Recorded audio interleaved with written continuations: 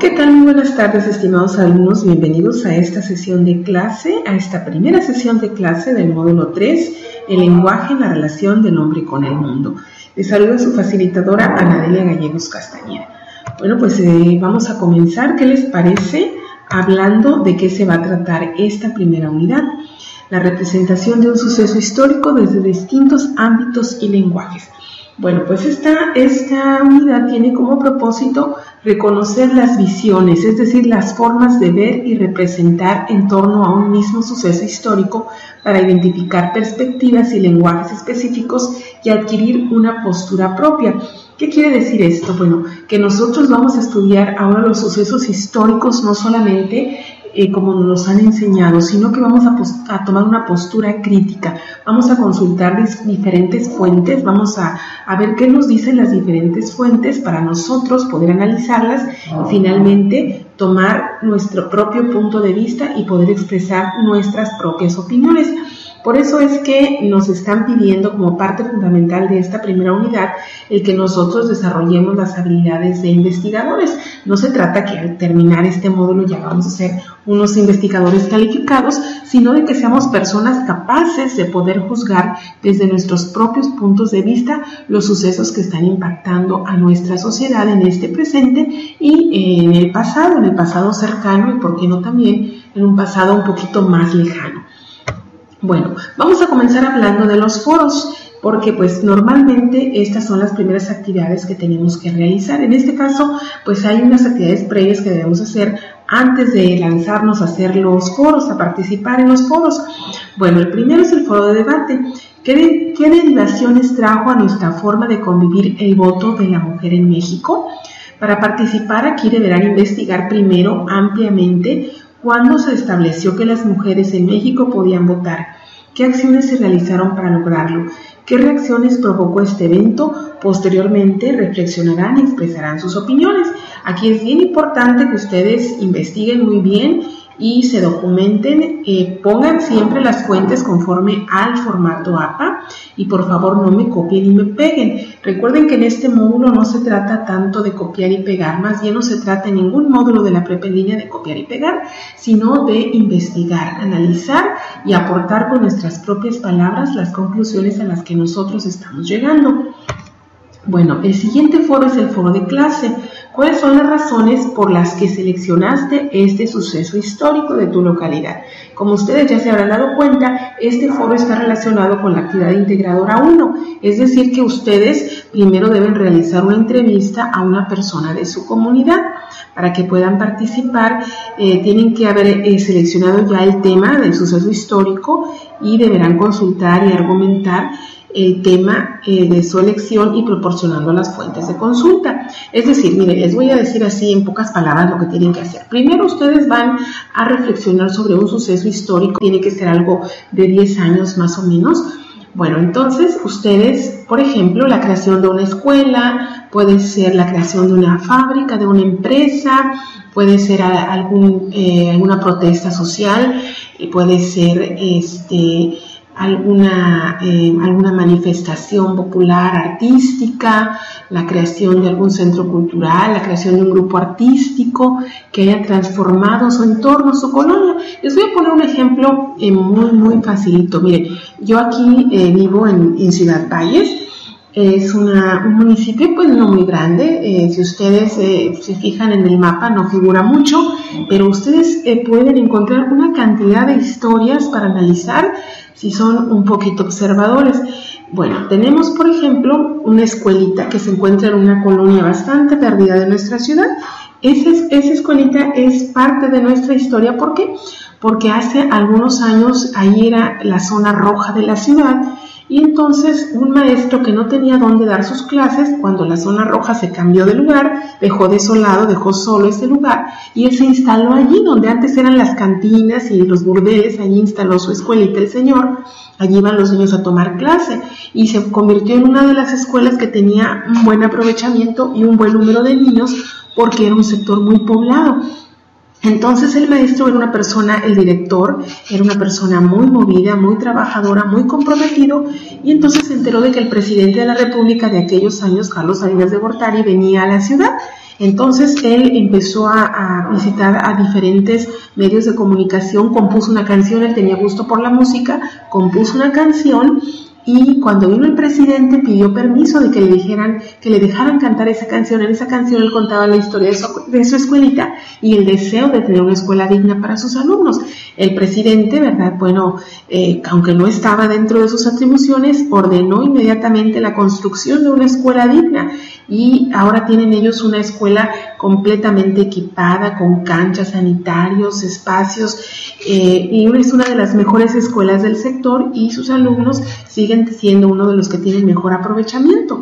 Entonces ahí tenemos ya un hecho histórico que transformó toda esa zona, de una, una zona, una zona perdida, desolada, en donde se creaban delincuentes, ahora se crean se crean jovencitos que van a una de las mejores ahora son jovencitos que tienen la oportunidad de escoger las mejores secundarias y el bachillerato y salen universitarios. Entonces se fijan como un suceso aparentemente insignificante como una canción, un maestro con deseos de salir adelante, ha transformado un entorno. Entonces, ese es un suceso histórico que ustedes no van a encontrar en los libros de historia nacional, pero que sí es un suceso importante para esa colonia de mi ciudad. Entonces ustedes así pueden encontrar muchos episodios en su ciudad, en su colonia, en su municipio, en, donde ustedes vivan, hay sucesos así. Entonces de eso se trata. ¿Por qué? Porque aquí nosotros vamos a analizar este, eh, vamos a analizar un suceso y lo vamos a criticar.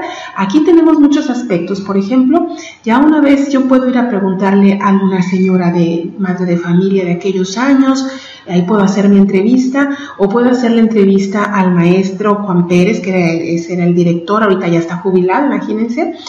O puedo después, posteriormente, yo puedo acudir a la Secretaría de Educación Pública a pedir que me den la información, puedo ir con el cronista de la ciudad ellos me van a documentar ya realmente en qué fecha, cómo sucedió, eh, todos los eventos cronológicamente bien ordenados.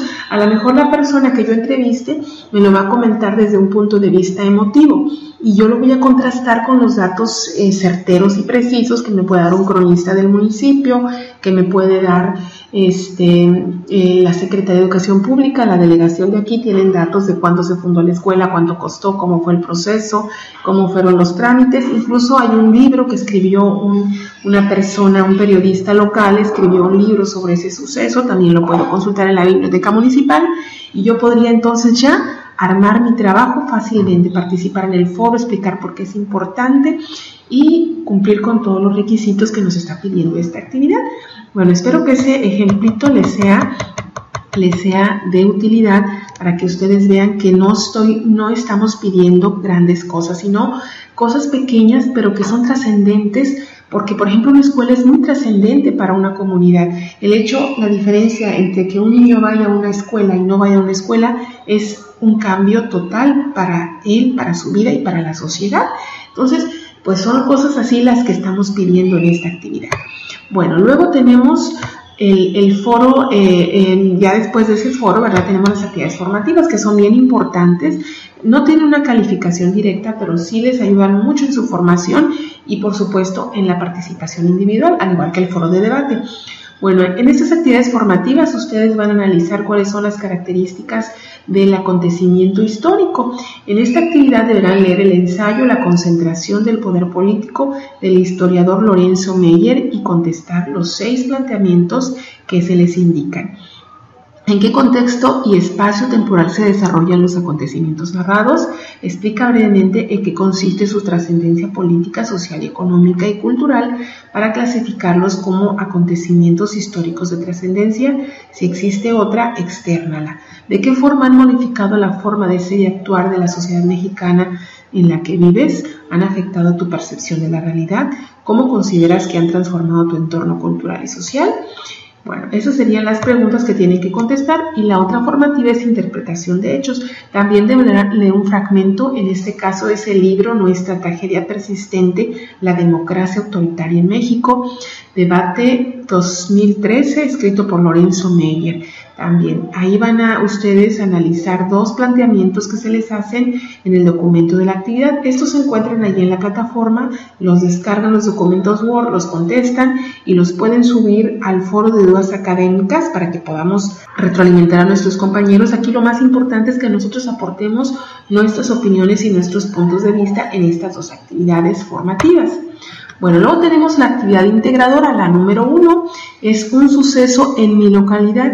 Aquí, ¿qué vamos a entregar? Bueno, vamos a entregar un documento Word y la principal actividad es escribir un suceso histórico de su localidad. ¿Qué hacer? ¿Qué vamos a hacer aquí? Bueno, primero vamos a retomar lo que les había comentado en el foro de clase, primero van a entrevistar a un ciudadano común de su localidad. En el ejemplo que yo les ponía, pues puede ser una madre de familia, el presidente de la Sociedad de Padres de Familia de aquellos años, o actualmente un padre de familia de la escuela, a lo mejor conoce la historia y me puede platicar lo que él sepa. Bueno, ya una vez que yo investigué, esto voy a llenar esta tablita que se encuentra ahí en plataforma, la voy a copiar y la voy a, desarrollar en un documento Word y voy a contestar lo siguiente guiándome con lo que ya investigué, que el contexto espacio-temporal, es decir, el lugar y el espacio de tiempo en el que ocurrió, por ejemplo, en, en lo que yo les comentaba, el lugar sería Ciudad Valle, San Luis Potosí, la colonia Vista Hermosa, en los años, en qué años fue presidente González de Gortari, como en el, en el, en el noventa y tantos, ¿verdad? Los años noventa, bueno, tendría que investigarlo bien, lo tengo aquí fresco en la memoria, lo estoy tomando al aire.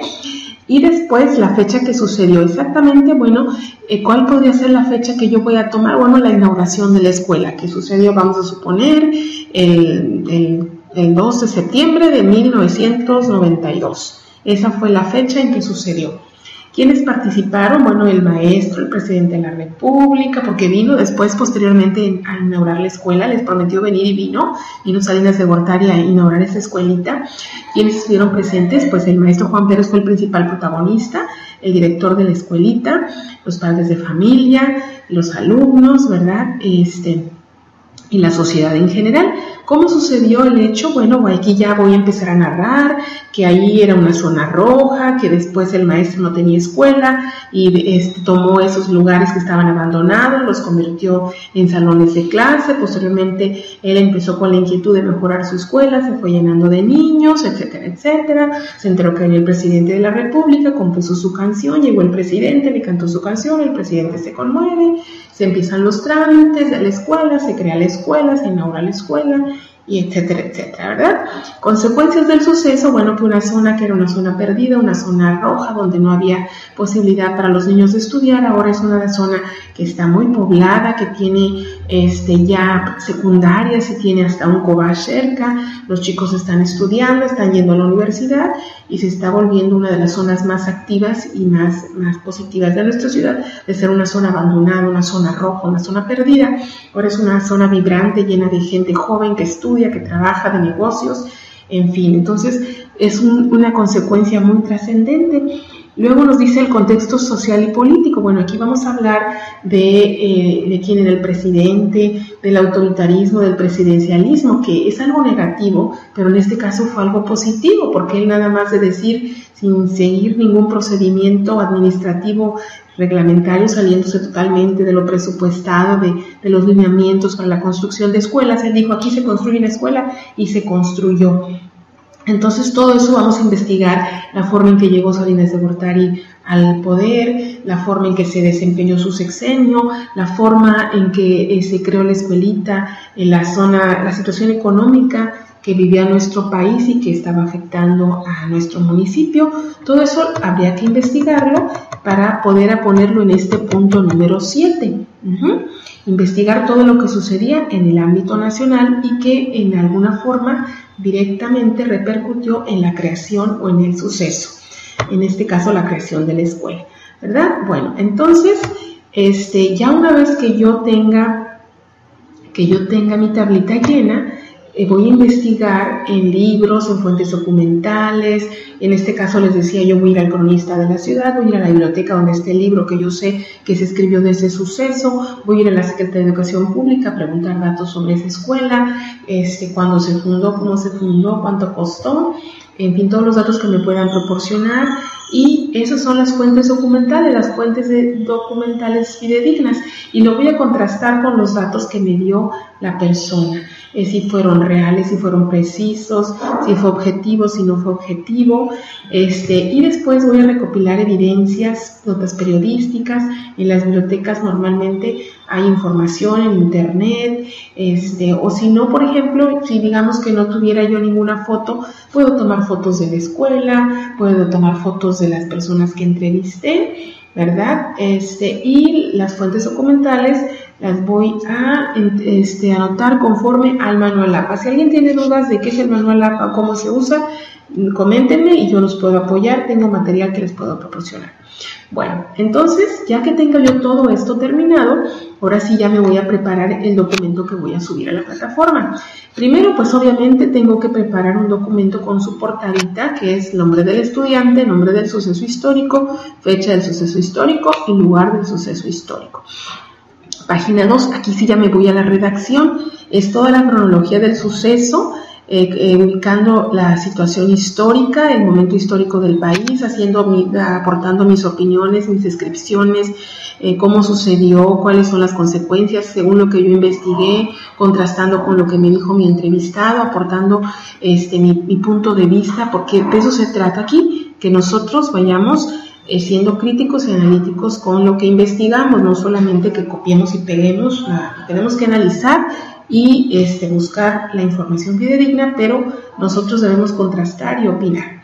Ya que tenga mi, redacción, va a ser una cuartilla nada más, voy a, en una página, en una tercera página de ese documento, voy a poner las fotos, las imágenes, impresiones de pantalla, si encontré, si encontré cosas en internet, voy a poner impresiones de pantalla que me sirvan para llenar esa página 3 y finalmente en la página 4, la tablita que anteriormente les había comentado, la que nos sirvió de guía para la entrevista y para la investigación, la vamos a poner aquí en el punto número 4. Ajá. Entonces, así sería como voy a trabajar. Entonces, ya que tenga todo esto, lo guardo con la nomenclatura que ustedes saben, la que siempre se les solicita. Entonces, voy a subir ese documento a la plataforma. La siguiente actividad integradora es la información histórica en una línea de tiempo. Aquí vamos a elaborar una línea de tiempo en la que se visualice de forma cronológica un suceso histórico acontecido en México. Debe incluir los años y o meses, días en los que ocurrió, una breve descripción de cada acción que narra el suceso, lugares donde sucedió, personas que intervinieron, el suceso e imágenes.